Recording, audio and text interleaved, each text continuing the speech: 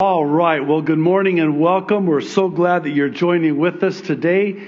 We have two services on Sunday morning. The first is devoted to Bible prophecy, and this, our second service, is our verse by verse teaching through the Word of God. We're currently in our trek through the Bible in 2 Timothy, and our text today is going to be chapter 3, verses 6 through 9. I want to invite you at this time to turn there if you're not there already. And while you're doing that, I want to mention just a couple of things. The first of which is doubtless you've heard about what's happening with social media platforms, and actually, this is why a few months ago, we sensed from the Lord that we were to launch a new prophecy website, sort of in anticipation of what we sensed was coming. So that website is at jdfarag.org, and it will become the go to place for everything uh, should something happen. So if you haven't already checked it out, you might want to do that. Uh, you don't have to subscribe, but if you do, we will be sending out notifications. You've not gotten notifications yet, and the reason you've not gotten notifications yet is because we haven't sent out any notifications yet. so we appreciate your patience with us in that regard. Um, so, uh, one more thing I just wanted to mention, uh, and I mentioned this first service and this is not hyperbole, and I don't blame people for uh, seeing it as such, but I am the most blessed and loved pastor on the planet. That's not hyperbole. No, I really mean that. So, no, for real. Again, I, I know that might sound like hyperbole, but it's actually true. I actually am. Um, I was uh, saying uh, to first service that in a sanctified way. You guys spoil me. No, you really do, and my family too, and just so overwhelmed with your generosity. Many of you who gave, and just such a blessing. And I'm actually wearing one of those blessings today. You like my shirt? Thank you. Thank you very much. It's my color, uh, you know. I'm a winter, or whatever they call it. So anyway, I, no, but seriously, I just wanted to say thank you. Uh, used to be before everything happened that whenever I would share that, I would always comment about how that not many pastors can really say that. And now more so than ever, that is true. Uh, one last thing. I've already started with the last things. See what happens when you take a couple weeks off. Um, you know, I was uh, thinking about this. I'm driving to church today, and I noticed something that I hadn't noticed uh, recently. But on the way to church, we live in Kailua. I usually see all of the signs for the church services for the other churches. And today, conspicuously absent on my drive to this church were any signs. And it just hit me that's because they're not having church. Because they're meeting in places, renting places that they can't meet and assemble together in. And it just hit me, and I, I found myself just thanking God for how blessed we are as a church. This is such an amazing church. And I'll say it again. I hope you don't tire of me saying it. But you make the pastorate a joy, such a joy, and it is such a profound privilege to be the pastor of this God's church. Okay, one last thing. I've often said that if I wasn't the pastor of this church, this is where I would go to church. it's such a loving church. You guys are the real deal, and I just love you so much. All right. 2 Timothy chapter 3. Our text again, verses 6 through 9. If you don't mind, I want to begin reading in verse 1 for the sake of context, and also it's been a couple weeks since we were in 2 Timothy. So, those of you that are here, if you're able, I'll ask you to stand. You can follow along as I read. If not, where you're seated is fine. The Apostle Paul is writing to Timothy, really warning Timothy knowing that his days are numbered. It's just a matter of time. He's now come to the end of his life. He's finished the race, he's fought the good fight of faith, and these are his parting words to Timothy, who he sees as his son in the faith and loves him so much. So he's warning him. And he says, verse 1, by the Holy Spirit, but mark this. There will be terrible times, perilous times in the last days. People will be lovers of themselves, lovers of money, boastful, proud, abusive, disobedient to their parents, ungrateful, unholy, without love, unforgiving, slanderous, without self control, brutal, not lovers of the good, treacherous, rash, conceited, lovers of pleasure rather than lovers of God, always posting on social media. Oh, I'm sorry, that's not in there. No, but that's a pretty apt description, isn't it? I'm sorry. Verse 5 having a form of godliness, but denying its power, have nothing to do with such people. They, verse 6, are the kind who worm their way into homes and gain control over gullible women who are loaded down with sins and are swayed by all kinds of evil desires, always learning, but never able to come to a knowledge of the truth. Just as, verse 8, Jannes and Jambres opposed Moses, so also these teachers oppose the truth. They are men of depraved minds, corrupt minds, who, as far as the faith is concerned, are rejected. But, verse 9, they will not get very far because, as in the case of those men, their folly will be clear to everyone. Can't wait. Let's pray. If you would, please join with me. Father in heaven, thank you. Thank you for this portion that we have here before us today in your word. Lord, we need at this time the Holy Spirit to get our attention, hold our attention as you speak into our lives. We don't want any distraction, we don't want anything to get our minds to wander so we miss what it is that you desire to minister to us today, especially in this portion of Scripture that we have. It is so apropos. Your word is alive and active, and Lord, we're so thankful for it. And we ask you to bless our time together in it. In Jesus' name, amen and amen. You can be seated. Thank you. So, I want to talk with you today about the dangers those with evil motives and corrupt minds pose in the life of a Christian and certainly in the life of a church. And again, it's so important to understand that these are Paul's final words to Timothy. I mean, he knows that it's just a matter of time and it's not much longer. And think of it from Timothy's standpoint. He's had the Apostle Paul in his life, most of his life, arguably all of his life. And he too knows that it's not going to be long before his mentor, the Apostle Paul, is gone and he won't have him anymore. And so, Paul, as any father who loves his son, is warning him, steadying him, readying him for that which he knows is going to happen.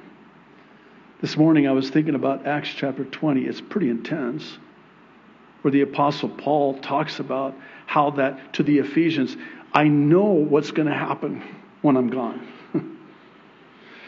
They're going to be wolves in sheep's clothing.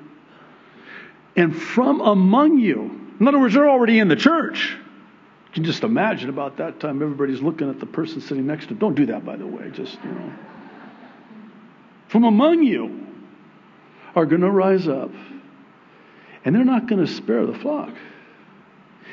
And he says this. He says, I think it's about verse 23, Acts 20. He says, You guys, I, you know that I've been warning you and weeping every day, every night day and night for three years. Because I know that after I'm gone, they're going to come in and they're going to seek to destroy the work, the church, you, your faith. You know when Jesus, describing the enemy, says that he comes to steal, kill, and destroy? Have you ever thought of it this way?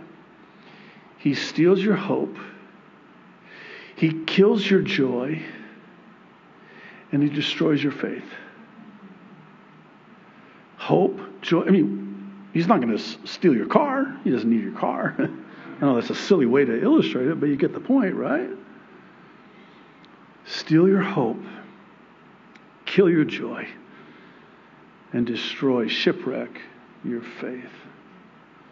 And so that's the heart of the Apostle Paul here with Timothy, who he loves and sees as a son. Timothy, I, I don't have much longer. Please take heed to this. Be ready, be steady, because I know what's going to happen after I'm gone. And you have to understand, too, and we know this about Timothy, he's kind of the shy personality, easily intimidated, dare I say, manipulated the timid type, bashful. And that's why Paul says, don't be timid. God's not giving you a spirit of timidity to be intimidated or fearful of man, intimidated by man, but power and love. And better translated, a disciplined mind. You know, we discipline our children, we need to discipline our mind. That's what he's saying there. So I wanted to frame this in this way because when you understand the heart of the Apostle Paul towards Timothy, then you're able to see the heart in this warning to Timothy. So, in preparing for this teaching, I was struck by something. That this warning would rise to the level of God deeming it necessary to inspire and include in the pages of Scripture. Uh, think about this. I mean, there are so many things that I'm sure Paul, as we see in his letters to Timothy, wants to warn Timothy about. And yet, he's warning Timothy about this in particular. I think it would stand to reason that this was of paramount importance to Paul. These men who had depraved minds, evil motives, that would prey on the vulnerable and the weak. So, what I want to do is share with you what I see in our text today as four ways to first identify, spot, and second, be on guard against those who have been fully given over to depravity and corruption. The first one, verse 6. They trap and control the weak and the vulnerable. Here, Paul tells Timothy that you can identify them, you can spot them because they're going to prey on and seek to have control over those who are gullible. He, he, he says women, women don't take this personally, it's not just you, but anyone who's just gullible, vulnerable, weak. I would suggest that they're actually drawn to such people. By way of an illustration, like magnet to a steel, uh, to steel. I hate to say it this way, but for lack of a better way of saying it, they can smell it. They can, they can smell vulnerability and gullibility a mile away, which is why they prey on them in the first place. You know what's sad? Many a Christian is naive and will believe anything or anyone who worms their way in in this way. Oh, I mean, they're so unsuspecting. In fact, one of the red flags is that they're just so enveloping. There's something about their, their personality. Hey, watch out.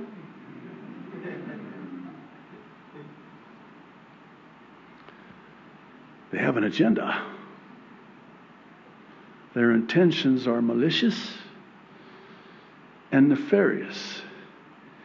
And they have spotted you as their victim. And the question is do you spot them as the perpetrator? This is how you can. This is how you can. They seek to, and this again is in Acts 20. I would really encourage you to spend some time in Acts 20. Paul talks about how that you can spot these guys because they're always recruiting and drawing disciples unto themselves, not Jesus. It's manipulative. They prey on and they want to have control over. And when they see that you're vulnerable, then they draw you unto themselves. Disciples after themselves. And then they wield that control in your life. These are men with corrupt minds and evil motives. And we would do well to have discernment to know them when we see them. Second one, verse 2, or uh, pardon me, verse 7. This is interesting. Paul says they're always learning, but have no knowledge of the truth. Now, there's some discussion about whether or not this is referring to the perpetrator, the one with the corrupt and depraved mind, or is it talking about the victim, the vulnerable and gullible victim? I would suggest that it's not really necessarily an either or proposition, but perhaps both, and I'll explain why I say that. On the side of the perpetrator, yes, they always come off this way, they always come in this way like they really know what they're talking about. That's part of the, the whole plan, if I can say it like that. And on the part of the, the victim, I hate to use that word, it's been hijacked. Sorry to use hijacked, I shouldn't use that word either, but uh, the victims of these perpetrators, this can apply to as well. Because they don't have the knowledge of the truth, which is what makes them vulnerable to begin with. Hang in there with me. This is actually where I'm going with this one. So let's get back to the perpetrator. They lace the truth with just enough deception so it sounds right. Kind of like what the serpent did to Eve in the garden. You know, Satan can quote scripture better than you, right? You know that right? He knows Scripture better than you and I do. So what he does is he he quotes it ever so subtly. Sorry for the effects, but you get the point, right? So it sounds right. I think of Eve because God never said, don't touch it. The serpent did. Half God said? And here's Eve. God said, We're not supposed to eat from this tree, nor are we supposed to touch it. Wait a minute. That's not what God's, God's word said. You've just fell prey to the deceit of the enemy who has laced just enough deception in with the truth to make it sound right. And so you believe it. Here's where I'm going. And if you were to ask me what I thought was one of the biggest problems for Christians today, if not the biggest problem for Christians today, it would have to be biblical illiteracy. Let me say the same thing in a different way. We are sitting ducks if we don't know God's Word. You have to understand that Satan, who does know God's Word and also knows that you do not know God's Word, he knows exactly what to do. And the description we have of him stalking his prey like a lion, very patiently waiting for the optimum time to attack. Oh, they're discouraged. They're alone. They're isolated. They're down. They're tired. They're disappointed. I mean, I can go on with the list. I don't have to, right? Now's the time. And he pounces. And he's got you. And then I think of the Apostle Paul to the Ephesians, we, we talk about it all the time. Well known passage, the spiritual armor, the helmet of salvation, the breastplate of righteousness, the belt of truth that holds everything together, by the way, the shoes of peace, the sword of uh, the Spirit, and the shield of faith. And after you put on, metaphorically, this spiritual armor, what does Paul say? Now, stand. Stand. Firm. So here comes the enemy. Oh, how you doing? I see you're a little bit discouraged today. Yeah. Didn't turn out as you hoped it would. Yeah. Hmm. Hath God said? Now here you are. Know. You know what just happened? He has planted a seed of doubt in a biblically illiterate mind that can't discern. Wait a minute, stop. That's not true. That's not true. nice try. Get out of my face. God didn't say that. I know what you're doing. I'm on to you. Nice try. I know, again, that's a. But, but think of it this way, and here's the takeaway. It is so important to be solid in the Word of God and the God of the Word. You're immovable. You stand firm. He can't do that to you. He can't get away with that. And not only that, but instead of attracting him, you repel him. Here's how I see it, and I know they have clinical terms for this condition. This is the way I think. I picture it like this the enemy is roaming to and fro, going, you know, s- searching for, looking for whom and when he can devour a Christian. And so he comes to my address. He goes, no, no, no, don't, don't, don't bother. Don't bother. He's, he's not going to go for it. Hey, we used to get him, you know, back in the day. Not anymore. Not now. Move on. Go to the next address. Whoa! Look at this guy. yeah, let's get him. Let's get her. You know, it's a low hanging fruit, as they say it, for a pastor to harp on this, you know. But I got to tell you, I don't know. I'll just speak for myself. I don't know how I would be able to survive, let alone thrive, especially in this day that we're living in, if it weren't for being grounded in the Word of God. I'm telling you. And I don't know moving forward in the days ahead how it's possible. It, please know that it's not like God saying, you need to spend more time in the Bible and in prayer. Call yourself a Christian. No, it's not like that at all. In fact, it's the opposite of that. It's more like this. Here's our loving Heavenly Father. Like a loving Apostle Paul to a Timothy. I love you so much. You're not going to make it unless you stand on the Word. You're grounded in the Word. You know the Word. So that when, not if, the enemy comes, you can say, out with you.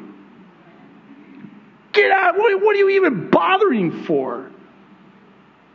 You got the wrong address. You pulled the wrong file.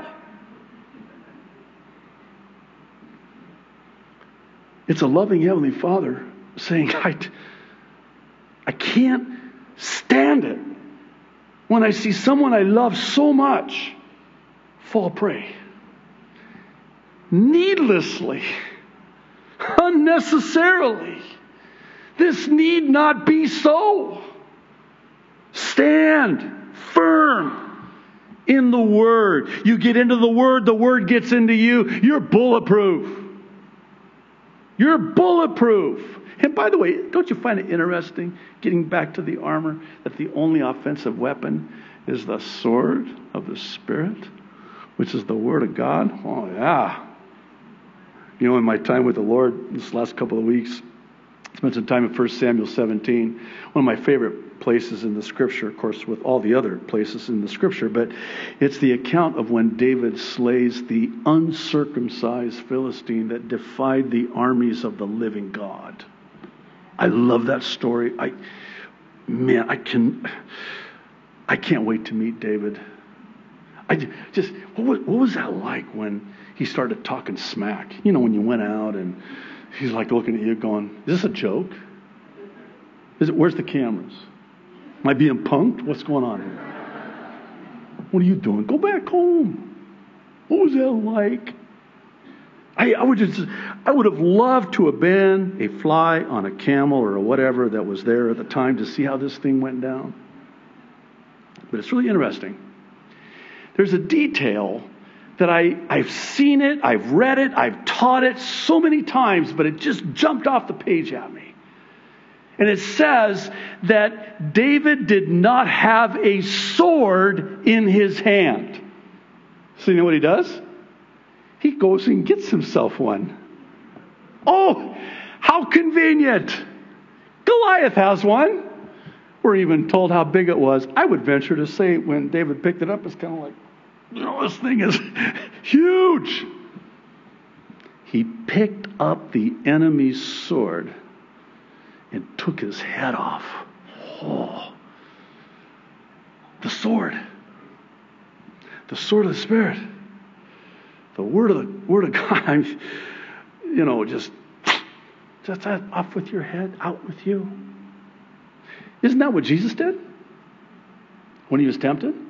Oh, you know, Jesus had been fasting for 40 days and 40 nights. Make no mistake about it.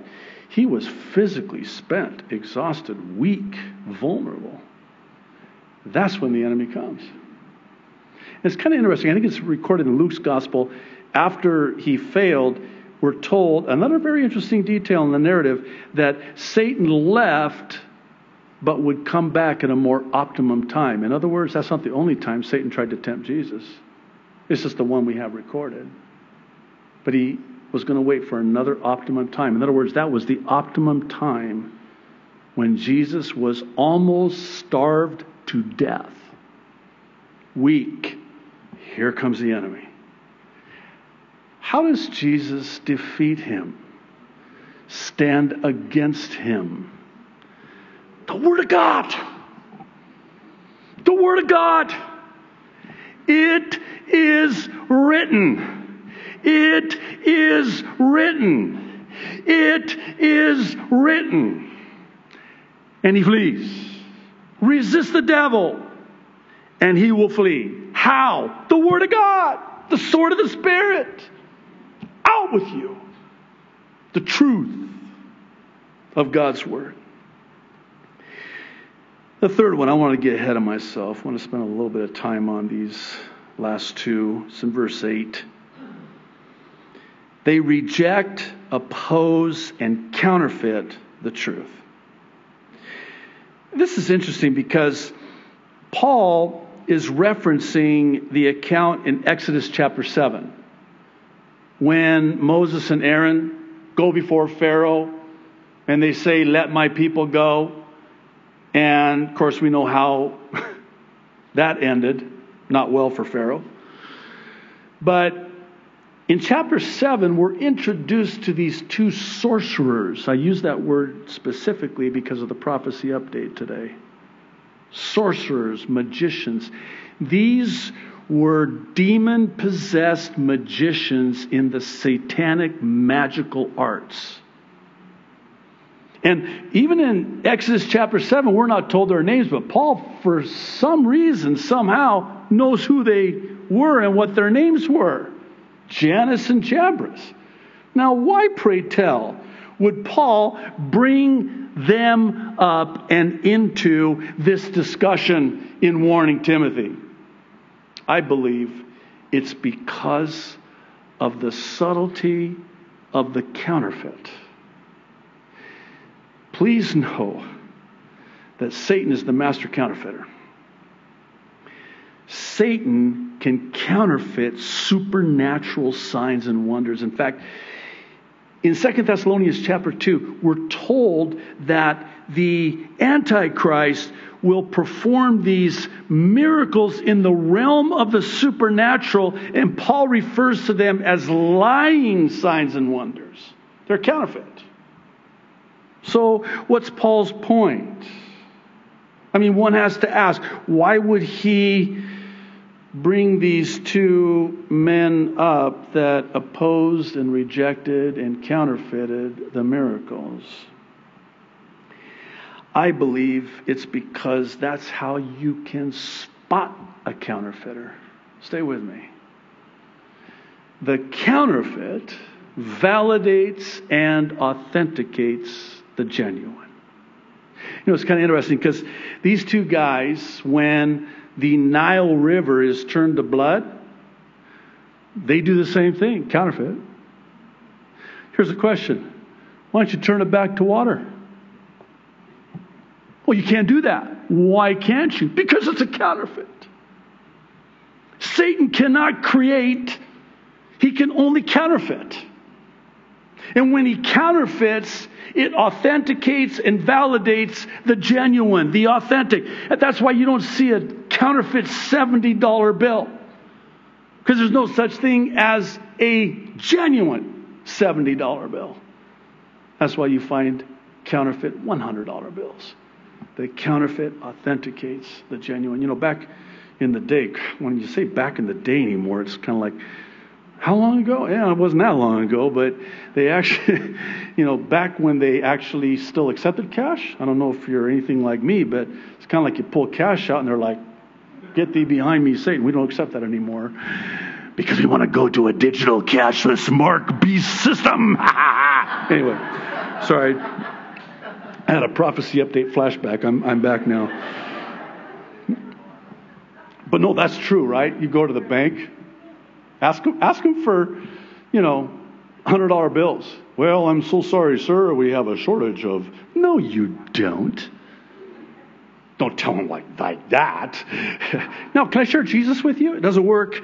But, uh, you know, again, that's the, another topic for another time. But back in the day, I was actually going to make a profound point here. Back in the day, they would teach the bank teller to spot counterfeit currency by getting them so familiar with the genuine, counting it, feeling it, touching it, smelling it, getting familiar with it. And when they were so familiar with the genuine, they would slip in a counterfeit, and that teller would like, uh uh Something doesn't smell quite right with that. Something doesn't quite feel right with that. One of the things I'm learning in my walk with the Lord is never, never, never go against that check that God puts in your spirit. That is His protection to protect you. The counterfeit. I want to read Exodus 7, verses 10 through 12. You'll see why here in a moment. This is the account of this Jannes and Jambres who opposed Moses and counterfeited these miracles. We're told, verse 10 So Moses and Aaron went into Pharaoh, and they did so, just as the Lord had commanded. And Aaron cast down his rod before Pharaoh and before his servants, and it became a serpent. How cool is that? But Pharaoh also called the wise men and the sorcerers so the magicians of Egypt, they also did in like manner with their enchantments. For every man threw down his rod, and they became serpents. What's up with that? What's the big deal? We can do that. But Aaron's rod swallowed up their rods. I love it when God does that. That's what God does. Oh, you, you can counterfeit it. Watch this. Can't counterfeit that. What's the takeaway? Oh, God will always have the final word. When it comes to evil, when it comes to the enemy, when it comes to counterfeits, you can be assured without exception, without question, that the rod of God will swallow up the counterfeit of the enemy. This last one we'll spend the remainder of our time on in verse 9, and it's that they will be exposed publicly for who they really are. I love verse 9. I thank God for verse 9 in this chapter here in 2 Timothy. This is what I absolutely love about God's Word. It's not that God does it, that's a given, okay? It's the way God does it. Think about Ezekiel 38, a prophecy we talk about often where we're told that there will be this alliance of nations that will invade Israel. The battle of Gog, Magog, that we refer to it as. And so you've got Russia, Iran, Turkey, and this alliance of nations that's going to invade Israel. And it's going to be a devastating and, I mean, decisive and swift defeat of this invading army. And it's almost like God is kind of showing off a little bit. It's kind of like, look at, look at those armies. I know. Do you see how big they are? You see how many they are? You see how powerful they are? And we're just little old Israel. I know. Cool, huh? No, not cool. Watch me now. This is a setup. Watch what I'm going to do and take note of why I'm going to do it. Not only am I going to defeat them decisively, swiftly, but the reason I'm going to do it, why I'm going to do it, is so that they will all know who I am. I am God. I am the Lord. And there will be no doubt. It will be very clear in no uncertain terms. That's why. And I'm going to do it.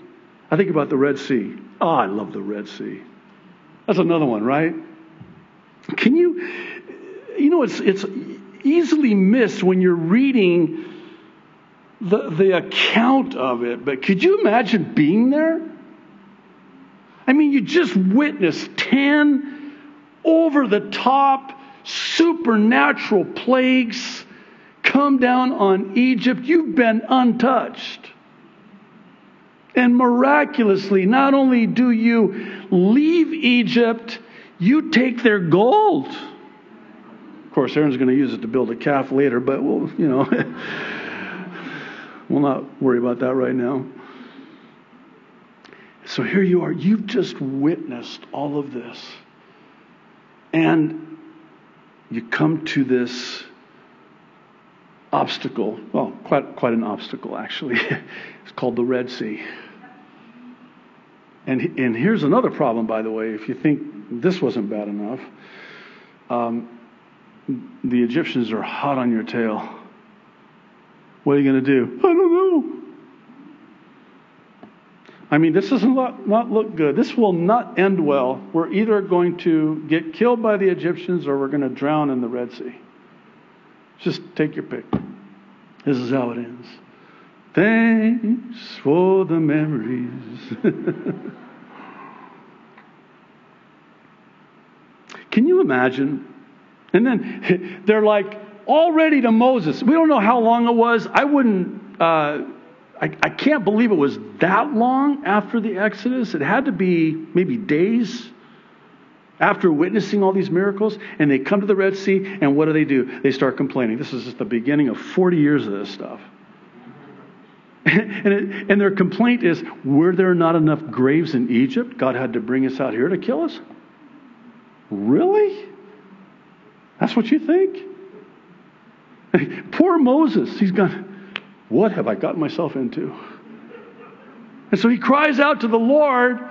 The Egyptians are there. The Red Sea's here. The Israelites are surrounding him. And the Lord says, I want you to take your rod. you know, the one that you turned into a serpent? Yeah, that one. And I want you to hold it out and behold the salvation of the Lord. And when we're told that the Red Sea parted and that the Israelites walked on dry ground, that means the water parted and the Israelites walked on dry ground. Now, you're there. You're like, oh my goodness. I think this is the way we're supposed to go, don't you?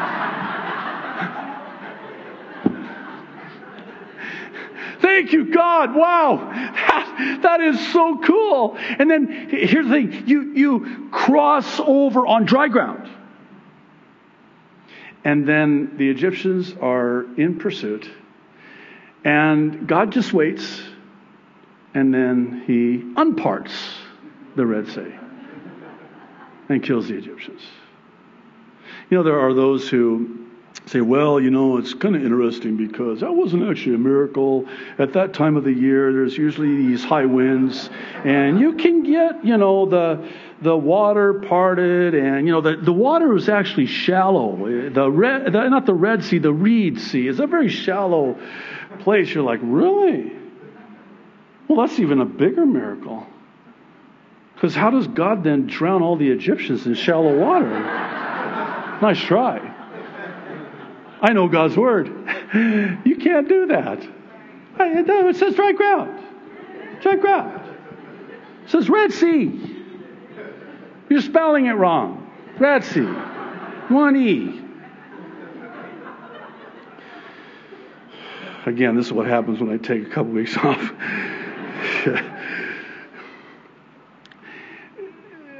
Let me try to bring it back even when it looks like evil is going to win. And doesn't it look like today that evil is going to prevail? I mean, you don't have to look too far. The evil minds, the demon possessed satanic evil, it looks like if, if you just look at it through the lens of the natural, it's like, again, this is how it ends.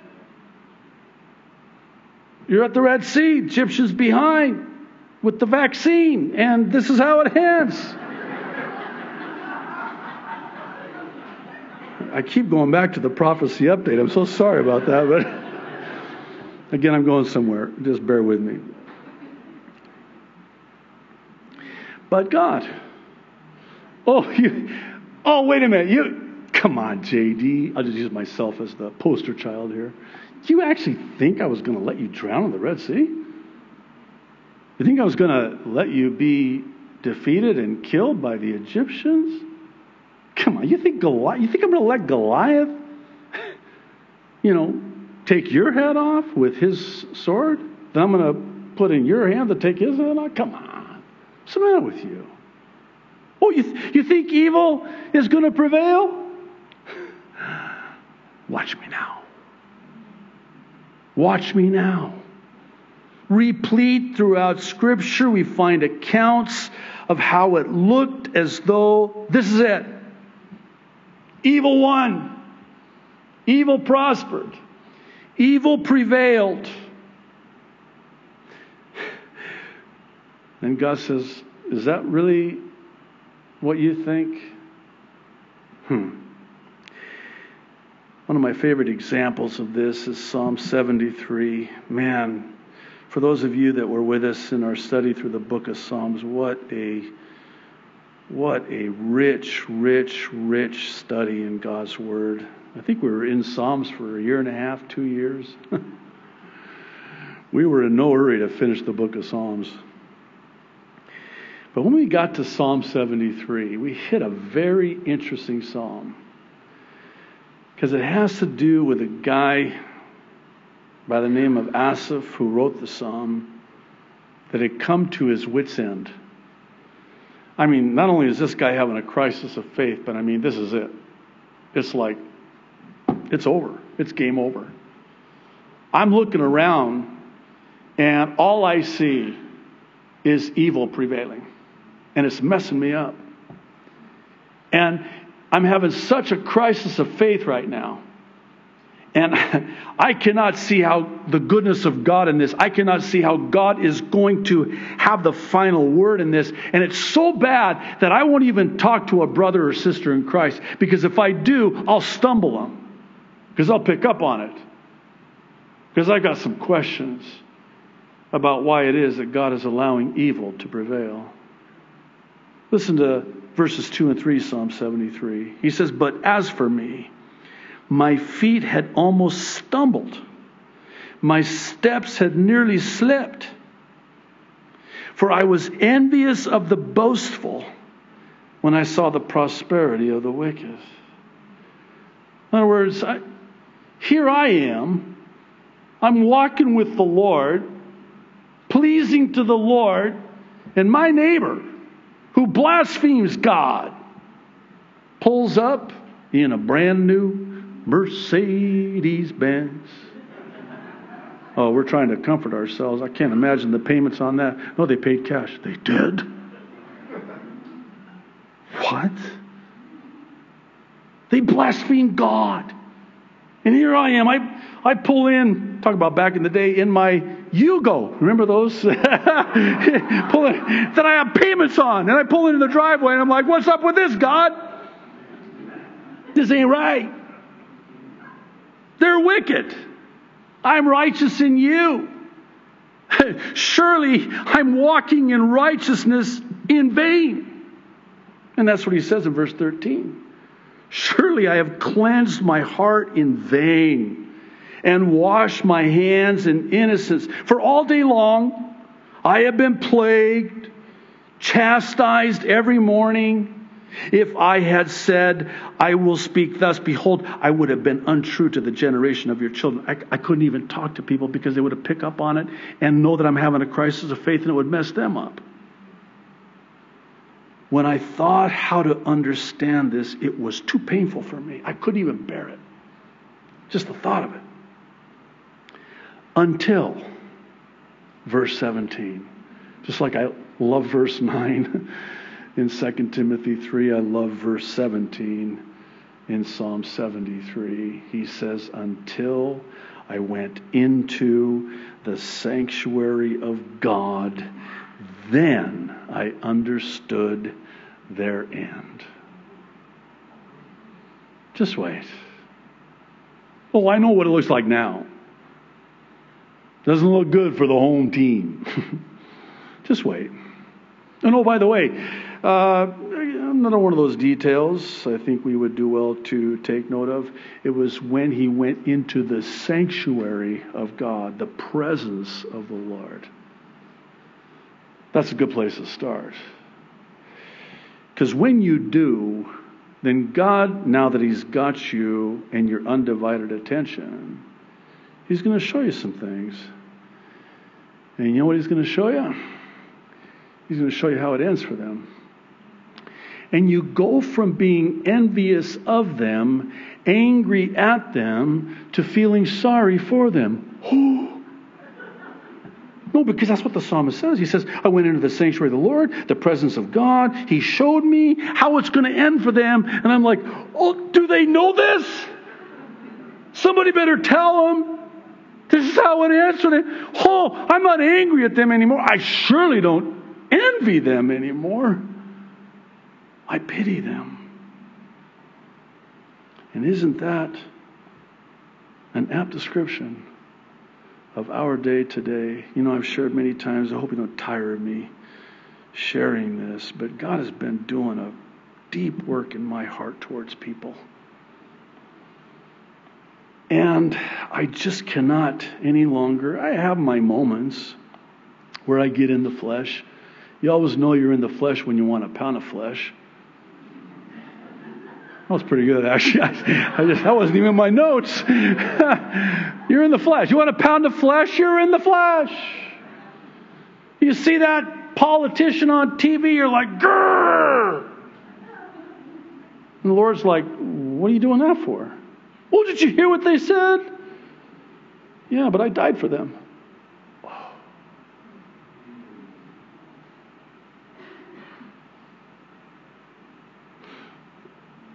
You don't see people as Democrat, Republican, right, left, conservative, liberal, globalist, nationalist. I mean, you can take that list as far down as you want.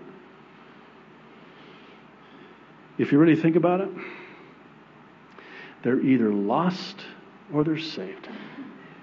They're either damned or they're saved.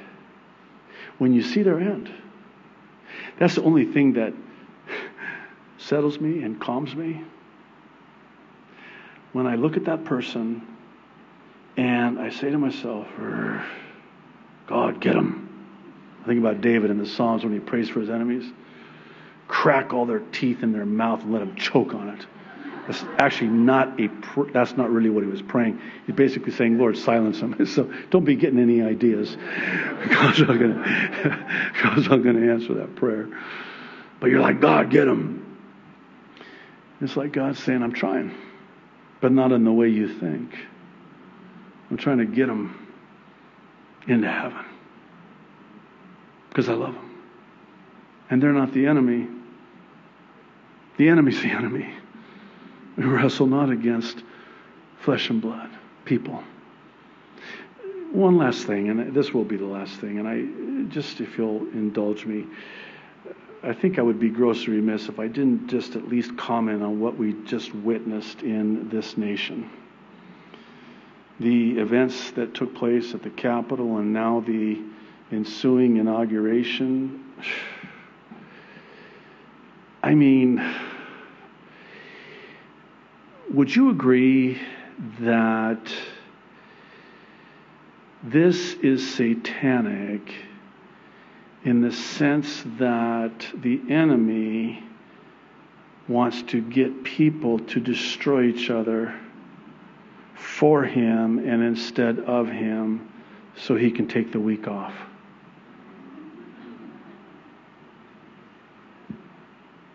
We're basically doing his dirty work. This is the whole plan.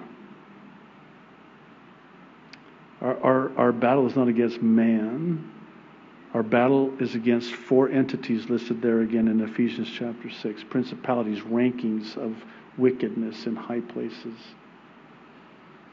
And what the enemy is doing and succeeding, dare I say, at doing it, he's riling up, working up, rising up people to destroy each other. Because, as Jesus said, it is impossible. If the house is divided, it cannot stand. It's when it's divided. And is this not textbook divide and conquer? Can you take what we just saw here in God's Word and apply that as a template and use your God given discernment to see that? That's what this is all about. He seeks to kill, steal, kill, and destroy. But God, but God, when you see how it ends for them, it changes everything. It changes the way you see them. It changes the way you pray for them. it changes everything. Why don't you stand? We'll pray. Thank you, Lord, so much. It's a good word today, Lord, here in your word. It always is, of course, but so fitting, so apropos for where we're at. And of course, that's because your word is alive and active and sharper than any two edged sword, able to cut and divide between bone and marrow, soul and spirit. Lord, I pray that your word and our time together today in your word will have the needed effect in our lives, cutting out that which does not belong, removing that which could be very threatening and perilous in our lives and our hearts. Perform that spiritual, supernatural surgery if need be, as painful as it might be. Lord, we know that you love us and you'll do everything and stop at nothing to protect us in as much as you're able and in as much as we cooperate and submit to you. So, Lord, I pray that we'll take these things that we've looked at today and take heed to your word. In Jesus' name, amen.